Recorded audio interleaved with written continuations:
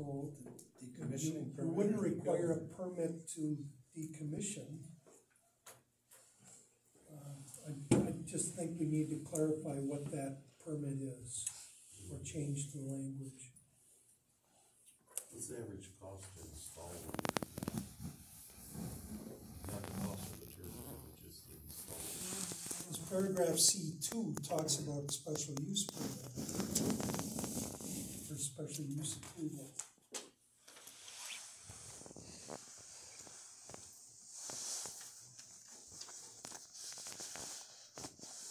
I think that needs a special use permit myself, but, The first one. yeah, that, that needs a special use permit, that you're not gonna issue the permit until they When they got the have handed you over the security. Cause once they have the permit, they're free to go start building, so you don't want them to do that until the security's in hand. Or you could say at least before the, a building permit is issued, um, would be, um, Need the security. yeah, So that third line, financial security in effect before the special use permit is approved? What, what would the? That's how I read it. there gonna be? I think a, a building permit would make more sense only because, um, you put the applicant in a difficult situation by requiring that they get security before they even know that they're gonna have a permit. Uh, otherwise, they could spend a lot of money on security or a cash deposit, and then you say, no, you're not getting the permit. They would have to put it up when they get it, Um, building at that time. Or, uh, like I say, you could, uh, change that to before any building permit is issued for any construction, because then, um, you know, the thing you're most concerned about is the towers going up, so then they'd have to have that security in place before any building permits are issued to allow that construction. And the township controls all of those building permits, it doesn't involve the county at all? Well, do you, do you contract with the county for your building? County does. Because we wouldn't want the county issuing some, can we say the county can't issue it? I think Dave doesn't, if I'm not mistaken, I think Dave handles the building permits, but he goes to the county, correct? Correct, yeah. You gotta go through, he issues, yeah, he has, you have to have a permit from the county. Yeah. Go through there. Yeah. So which comes first, a permit from Dave or a permit from the county? He gives, he gives you a permit, then you have to go the county. Okay, so it would be our township building permit that he, need- that they would need first. So they wouldn't be given that from Dave until the security Right. was in place, right? Because- Is how that would be. And is that possible to change ever? I don't think so, I think that's our building ordinance, Right. isn't it? That I you believe get a, so. you get I a believe so. township permit before you can go to the county Yeah, and cause build Dave's gotta make sure the zoning and all Yeah. That stuff's right first. Well, here, okay, here's another option, maybe, since there's maybe some uncertainty about that process, you could say, uh, the financial security must be in effect before the special use permit is effective. So ultimately, understand what, what's gonna happen is, we're probably gonna have to work with either Paul, myself, or both of you, if, if and when a project comes in and you ultimately approve it, we'll be drafting a resolution that's probably about forty pages long for you that has all the terms and conditions of approval, one of which will say this permit is not effective until such time as the, um, financial security has been posted. And so, um, perhaps that's the easiest way to do that, because the special use permit is totally within your jurisdiction and control to decide if and when it's entered. So if we say it shall be in effect before the special use permit is effective. And, um, that may not even be necessary, because as I read, uh, paragraph two, it says such financial guarantees shall be deposited or filed with the township clerk after a special use has been approved, but before construction operations begin on the WECS project. That pretty much says what we're saying right here. Or maybe we just, uh, um, take out the wording in the prior paragraph.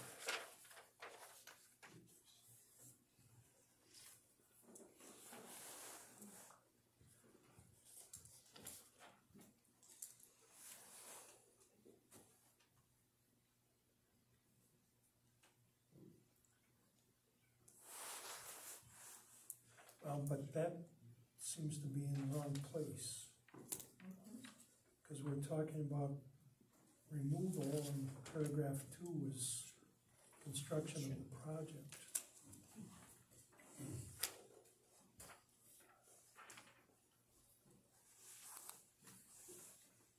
It's that we want the proof that they will financially cover the removal before they even start. Isn't that the goal of all of this verbiage right here?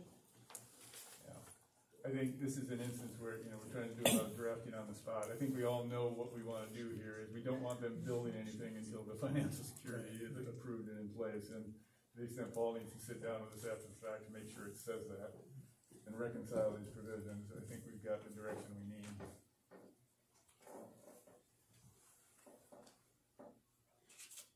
So basically, this is just gotta be cleaned up, because, yeah, this is, um, kind of putting the cart before the horse.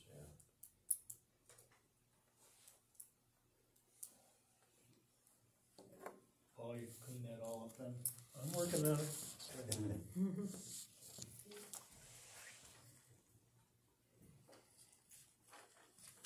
Okay, Helps out.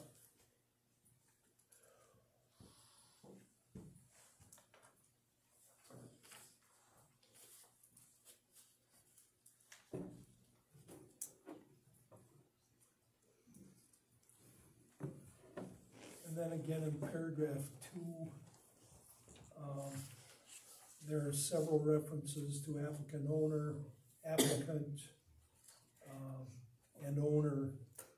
So, uh, and then again in paragraph three, so, uh, I'm, I'm not comfortable with the word applicant in those cases. What we might wanna do, and this, this is just a thought, Paul and I can talk about it, but we might want a- another definition in the ordinance that's responsible party. And define that to include whatever entity, whether it be the applicant, the owner, or the operator, who has the legal authority to take such step as required under the ordinance at the time that obligation arises. And then just use the term responsible party every place where that occurs. Except for at the application stage where you're obviously the applicant at that point. But can they then point fingers, like he said? It's Well- not, not me, it's him? Well, ultimately, I mean, somebody's gonna have responsibility and, you know, the, the township can, um, figure out who that is. Um, it's- Does it get complicated because it's sitting on private land?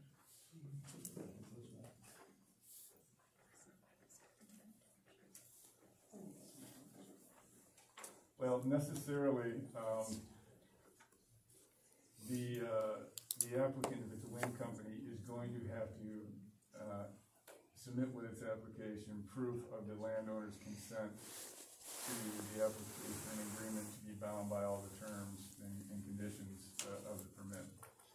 Uh, and that's typical in any situation, you know, a lot of times you have developers come in and seek rezoning, and you don't allow them to do that unless they've got proof of the landowner's consent, uh, to the, the application. You would do the same here and require all the participating landowners to join in the application, and therefore they're gonna be, uh, bound and, and subject to whatever, uh, requirements of the ordinance, um, that, um, uh, you know, might require access to the property and whatnot to complete.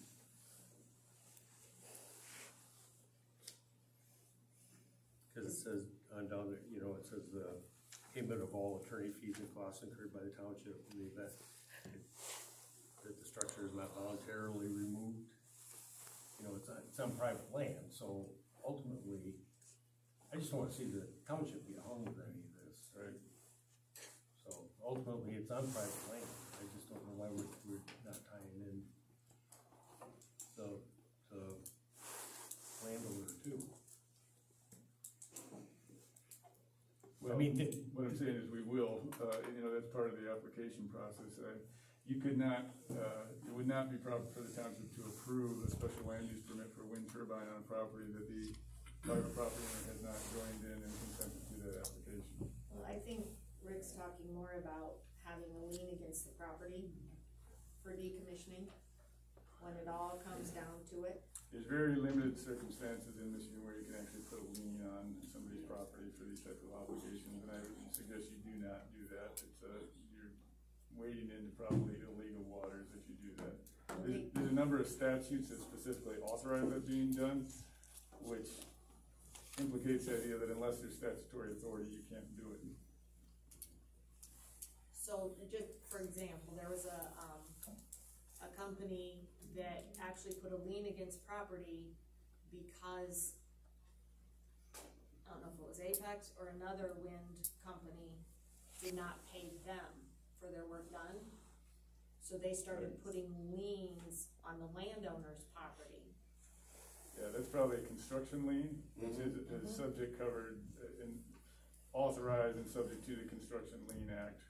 Where if uh, contractors on jobs put, give uh, appropriate notices and record them on the project and, uh, don't pay their subcontractors, the, the, the persons who are licensed doing work on that project can put a lien on the property. And then they get like ten cents on the dollar. I knew of a situation like that.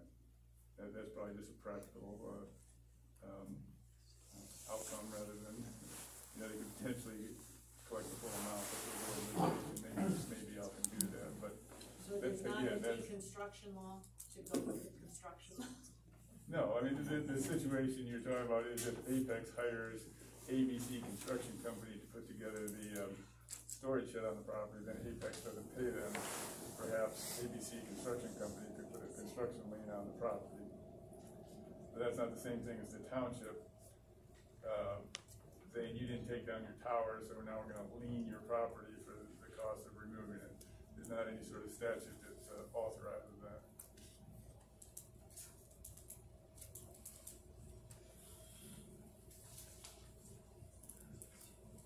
I mean, what, what would happen in that situation, worst case scenario, there's a breach, decommissioning doesn't occur, the township calls on the performance bond to get the money, and the landowner somehow won't let you on the property to do it, well, then you've gotta go to district court to get a, a warrant of sort for en- entrance to the property, which you'll get because they're required to do that to comply with the ordinance, and so the court's gonna allow township bond for that purpose.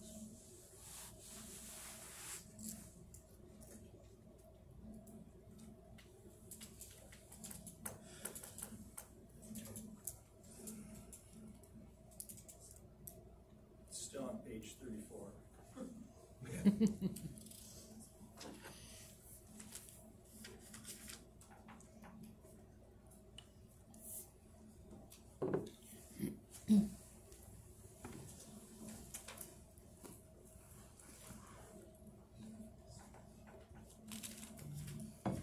It's the, we're, we're down. We should be up there. We beat this upper part up a couple times now. Got a couple on complaint resolution. Um, Paragraph,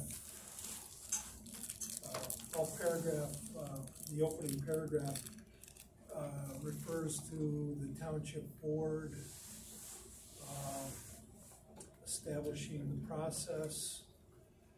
But then in paragraph A, it references the planning commission shall select the complaint resolution, excuse me, process. Um, But then all the other references and subsequent paragraphs are back to the township board. So I'm thinking that it may be preferable to change planning commission to township board to be consistent, since they're the ones that seem to be responsible for handling the complaint process.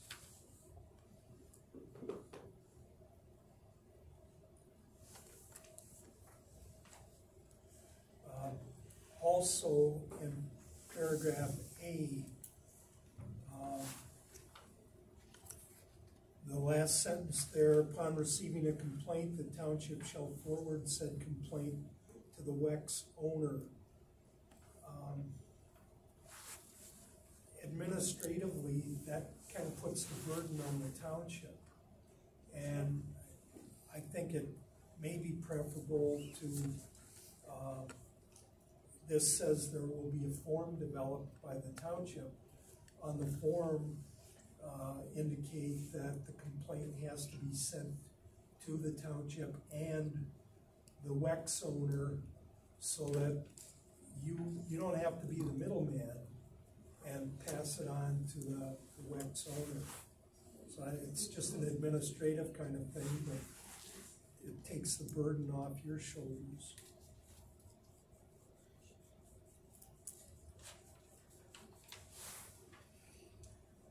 And then under paragraph C, notice of hearing shall be via certified mail. I'd suggest adding some timing and, uh, recipient requirements. Okay, we're, we're saying a notice of hearing shall be sent out. Uh, who does it go to? Is it everybody within three hundred feet? Is it the complainant? Um, you know, who gets it? And how much advance notice do they get prior to the hearing?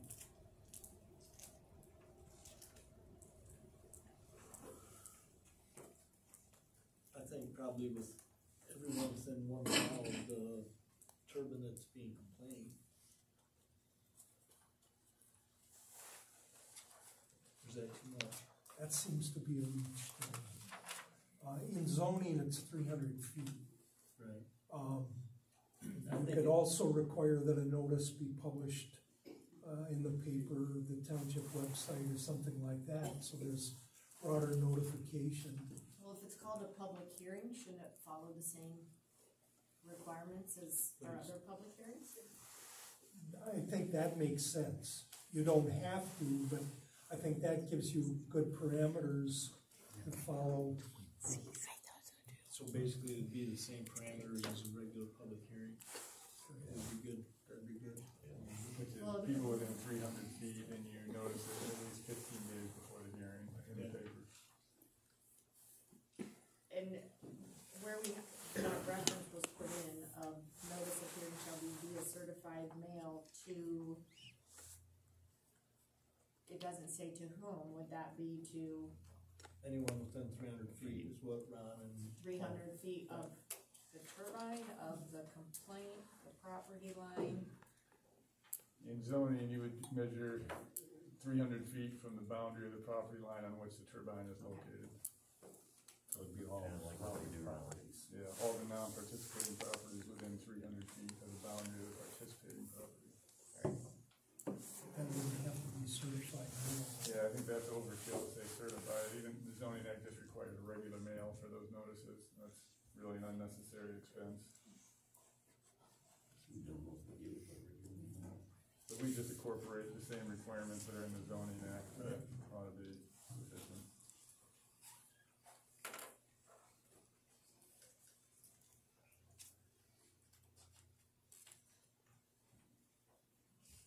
I think it should say, you, you said non-participating within three hundred feet, I, I would say all. Yeah, I, sorry, I, I didn't mean to limit it that way, so assuming that the surrounding parcels are non-participating. I mean, you got two participating parcels next to each other and they're in the three hundred feet, yeah, they'd be entitled to notice.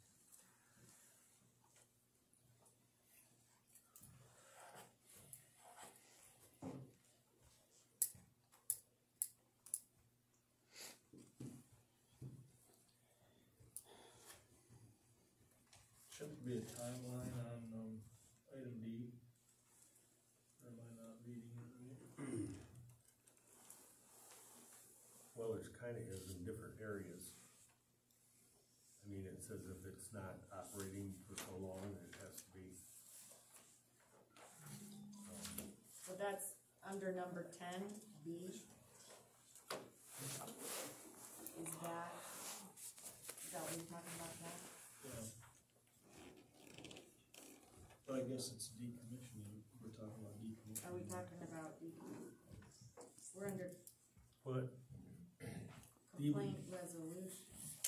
Oh, Okay, yeah, yeah, you're right, you're right, yep. These are complaints, they're not necessarily decommissioned. Right. Didn't we already go over some of that? Well, we did, we did as far as like compliance with the sound and compliance with, the different things that they have to. We changed it from mitigate to they have to comply within thirty days. And this is nuisance compliance. based. Number nine is how you complain and how the process is done to resolve it. Number ten is if you're told you're out of compliance, this is what you have to do. Well, item D two has got the applicant in there and, and you gotta clean that up. It should be, shouldn't be the applicant, it should be the owner again, right? We're gonna use that term Responsible responsible party and define that. Yep. Under B, where it says investigation of complaints, um, this says that the township would utilize escrow funds to hire appropriate experts. What if the complaint is just a frivolous nuisance complaint? Should the applicant, should the owner be penalized to, to pay for investigating something like that? I mean, there, there no doubt can be legitimate complaints, I'm not suggesting that. But, um, you know, I've seen situations in other communities where there's a neighbor that just, uh, likes to call the, the city or the township and complain, and it just takes people's time, there's never anything to the complaint. Um, we're, we're saying the applicant has to pay for all that. Yeah, you can complain three, four times, like you said. So how do you decide what is frivolous and not? Well, I think after investigating, Yeah, but the complaint could be legitimate at the time, say it was too noisy or something. You'd have to have the same conditions to, I, I just wanna bring that to your attention. no, I agree with that. Well, it says to hire the appropriate expert. It doesn't say we'll hire an expert, so that if someone says, I have a sound complaint, I have a mechanical complaint, an electrical complaint, um, Well, then there's like, they don't, don't get TV reception, there's gonna be, complaints. there's gonna be a complaint when the truck turns the corner. It's gonna, it's gonna start then, and it's not gonna stop.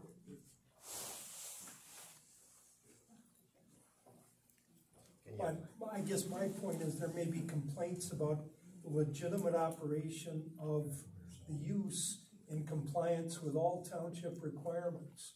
Uh, Trucks coming to the site or whatever it might be, and somebody doesn't like the fact that the power company has a truck going down their street now. Um, You know, to me, that's a nuisance complaint.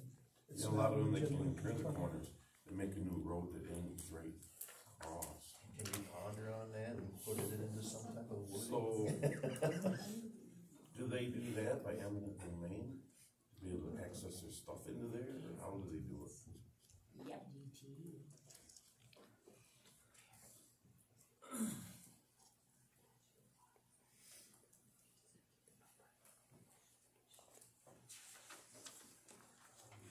So you're gonna like, try to reword that one, Paul, somehow, B? Or separate to the complaint somehow?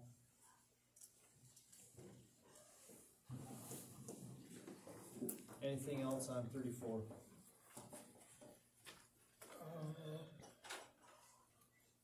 I would make one suggestion, having read this, right now, it, it talks about the, the board shall set a public hearing.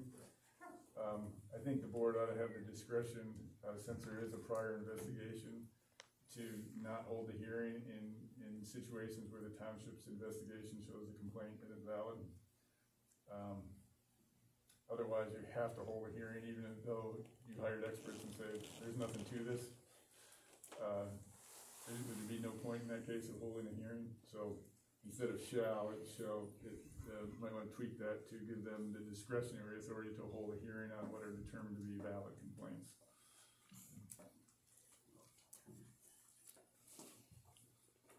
What if it is a valid complaint at the time?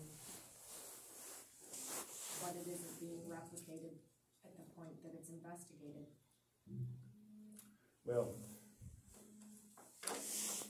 by valid, I, I don't mean that, I mean, la- lacking in any merit. I mean, you're right, there's circumstances where, you know, the top, the, the thing's running one day and the, the shadow flicker uh, is happening, but it's not when they go out there, but I think you, you should have some reasonable basis for, um, believing there's a need for a hearing before binding yourself to, I mean, right now it's shall.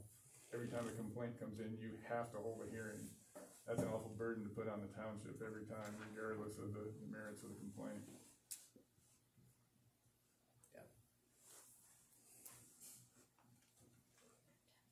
And I, and I think you gotta assume the township's gonna operate in good faith in making of it, you're gonna wanna protect your residents and not just say, no, we're not believing any of these complaints. Um, and you're, you're in control of the process, so it's not like the applicant gets to decide what is and isn't valid.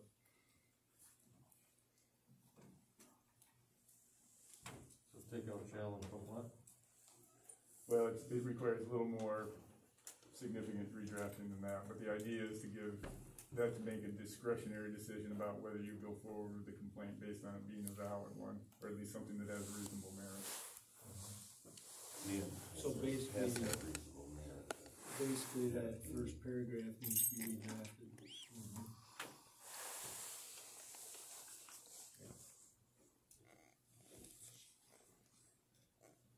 Well, it's, it's really C that's the, Yeah. the problem, that's the one that says the township board shall set a public hearing. So that's gonna be. Should there, that- is there a way to have a notice of a complaint To whom, to the public?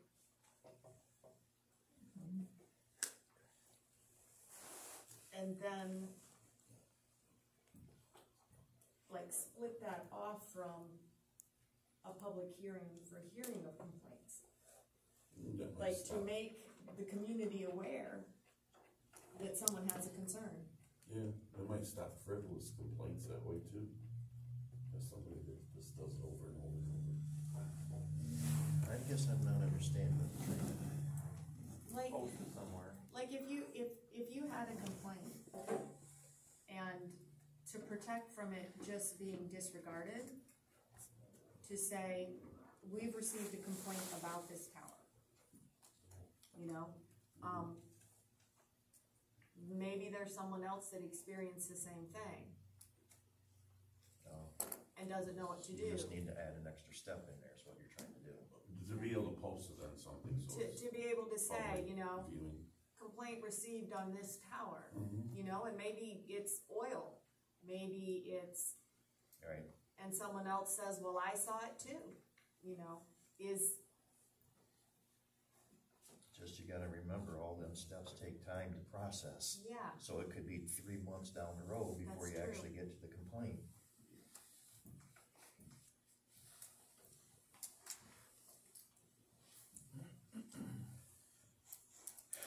yeah, I mean, your, your concerns are very understandable in ensuring that, you know, uh, complaints are taken seriously, but there's a certain level of diminishing returns on the administrative burden you're putting on the township to publish every complaint that comes in in the newspaper, and that's, you're gonna have to develop the, uh, you know, the township department of, uh, of, uh, Complaints. wind complaints that operates full-time if you put too much into this.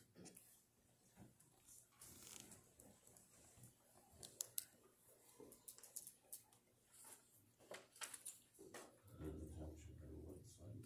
Complaint comes in, you stick it on there. Thirty-four then, B, you're gonna redraft that? Yep. Okay, Yep. so then thirty-four is done? Uh, well, under compliance, paragraph A, uh, the last sentence there says non-compliance with ordinance requirements, uh, shall result in denial or revocation of the permit, meaning the special use permit. Um, That's the part, uh, I would suggest may result in revocation of the permit. Because again, some complaints may be legitimate, but may be pretty minor and easily corrected things. It might be a, a one-time, uh, situation where they exceeded the flicker limits or something like that, uh, that doesn't warrant revoking their special use permit. So I think, uh, just inserting the word may instead of shall still gives you the option of doing it uh, under appropriate circumstances, but doesn't require that you do it in all cases. Would you point out what number and letter that was? Yeah, I'm not in? finding it. It's under ten That's- A. Uh, 10A. Oh, under back up there. compliance, paragraph A. It's over past that. Yeah, I would suggest not only me, but get out of, take out the word denial, because really what you're talking about here is revocation of Right. Permit. Uh, obviously, if they don't comply with the ordinance, you're not gonna issue the permit in the first place, so you don't really need to state the obvious. Um, Well, compliance is after, after the fact though. Right. So it's kind of late, Yeah. it's kind of late to be. Yeah. right. That's So you what like to deny the permit. permit, yeah. You can revoke it, but you can't deny it.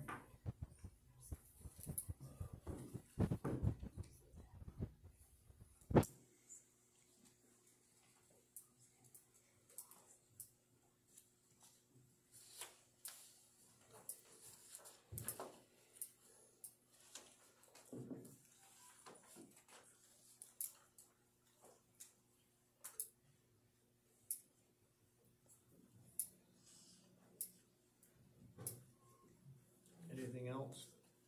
Um, Under, uh, same section, under paragraphs B and C, we use the terms nuisance compliance complaint and non-nuisance compliance, um, which I don't think are defined.